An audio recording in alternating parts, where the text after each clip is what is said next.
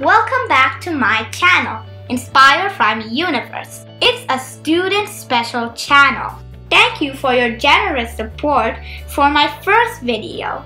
We have seen from my first video important places in London. If you have missed watching my first episode, kindly click the link in my description box and watch it. For not missing my videos, subscribe to my channel. We are going to see about the history of various immigrants in the UK. In the UK, majority are white British, of around 85%. Next comes the black immigrants, followed by Indians and Pakistanis. Blacks are a majority of immigrants in the UK. Around 1,500 years back, Romans ruled the UK for around 400 years. It is believed with various evidences that even during that period, black immigrant slaves from Africa lived in the UK. But only after the 15th century, numerous slaves were brought from the Caribbean islands and Africa. Those days, those black immigrants were considered only as a commodity. During that time, it was considered as a status symbol for white British if they had a black man, woman, or child as their servant in their home. Even in palaces, some of their paintings have black servants standing in some corners. During the end of the 18th century, the British Army had a huge manpower shortage and hence they did the largest single purchase of slaves from the Caribbean islands. Many times instead of money, they have done barter system and purchased slaves against manufactured goods like clothes, liquor, and weapons. All these black immigrants were used in their army, navy, and for construction jobs to build hospitals, railways, and to work in factories, etc. But now it's not the case. They are living in much better conditions. These blacks are physically strong people. Hence, they are highly successful as security guards, police officers, and in sports fields. When we talk about Indian immigrants, Punjabis are the majorities.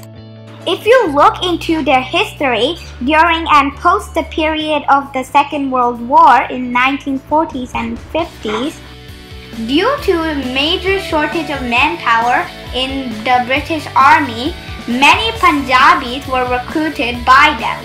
Apart from that, even for constructing factories, airports, hospitals, railways, etc., they had been recruited. Those days, Punjabis had gone alone leaving their families in India. Only after long periods, their families joined them. In London, most of the Punjabis live in Southall. This area is even called as Little Punjab.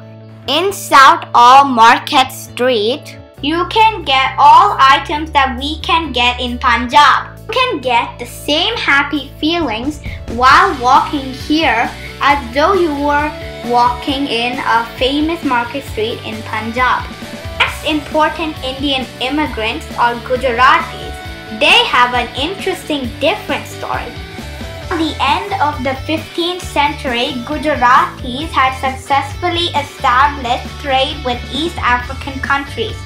In this way, Gujarati families have migrated to African countries like Kenya and Uganda. After Britain started ruling these countries, they had brought many Punjabis for railway construction jobs. By these means, Punjabis and Gujaratis had migrated to these African countries. In the 1960s, Kenya and Uganda got independent. Punjabis and Gujaratis who lived in these countries have migrated with families again to the UK. They are known as double immigrants. They were doing well in African countries with rich business knowledge and hence when they migrated to the UK, they established many businesses there. The Gujaratis have settled in Alperton and in Ealing Road.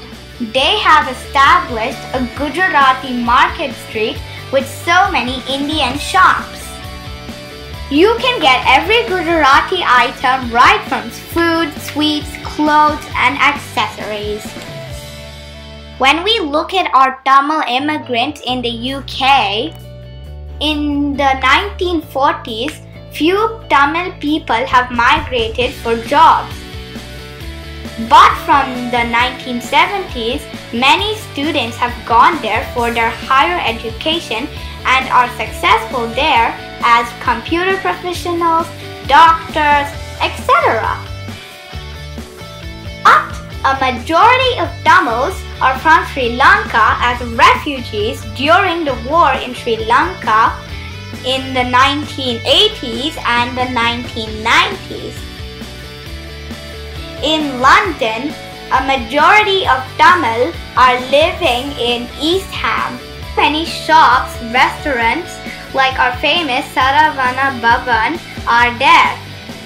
You can get in East Ham Market Street all items from our South India and from Sri Lanka including jasmine flower and curry leaves. When you walk down this street, you can feel like you are walking in the streets of Pondy Bazaar in Chennai. After India-Pakistan partition happened in 1947, many Pakistanis have also immigrated to the United Kingdom. Majority of them are into business, mainly into clothing and restaurants.